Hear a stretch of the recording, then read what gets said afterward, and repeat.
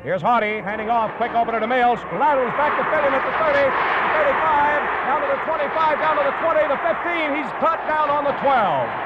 Tom Fillion almost went on the way that time. A beautiful lateral by Bradley Mills. Tennessee may have. no change in the Kentucky lineup as they move up to the Tennessee 12. It's first down and 10. Hardy's back to pass in the end zone to Profit. He dropped it. Beautiful pass by Bob Hardy. Backfield straight away in the line split. Hardy moves to the left, gives off. Here's Bradley Mills going to the Tennessee 5 on a beautiful seven yard run right off his left tackle. Tennessee 5. Two big downs coming up. Bob Hardy moves in, takes, keeps, going right, looks for a receiver, can't find him, pitches back. Bradley Mills outside, goes all the way for the touchdown.